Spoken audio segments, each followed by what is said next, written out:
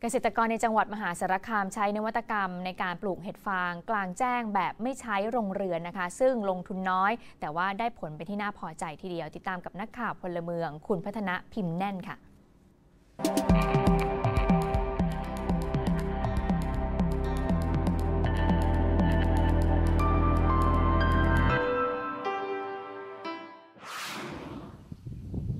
แม้จะไม่มีโรงเรือน ไม่มีหลังคา แต่นายสมรและนางคำไพอ่อนโพธา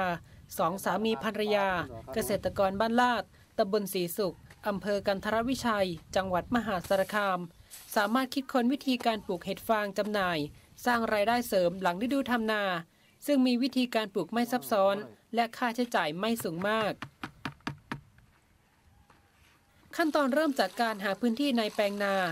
ขุดแปลงเป็นร่องสี่เหลี่ยม คล้ายๆ แปลงผัก จากนั้นนำส่วนผสมของกากมันสับปะหลัง และปุ๋ยคอกผสมให้เข้ากัน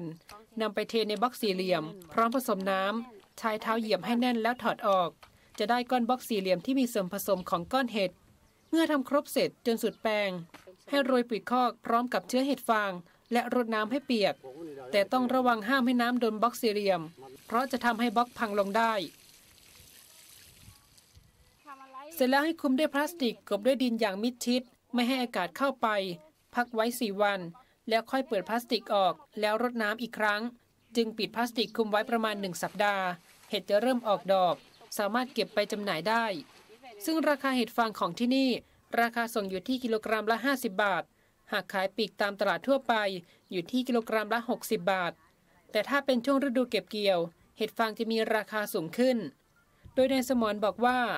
ต้นทุนการปลูกเห็ดแต่ละครั้งอยู่ที่ 2,000 บาท เมื่อขายจะได้กำไร 3,000ถึง5,000 บาทต่อครั้ง และการปลูกเห็ดฟางกลางแจ้งนี้ สามารถปลูกได้เพียงครั้งเดียว ห้ามปลูกในที่เดิมอีก หากจะปลูกก็ควรเว้นระยะสักหนึ่งปี ถึงจะปลูกที่เดิมได้อีกครั้ง พัฒนาพิมพ์แน่น นักข่าวพลเมือง จังหวัดมหาสารคาม รายงาน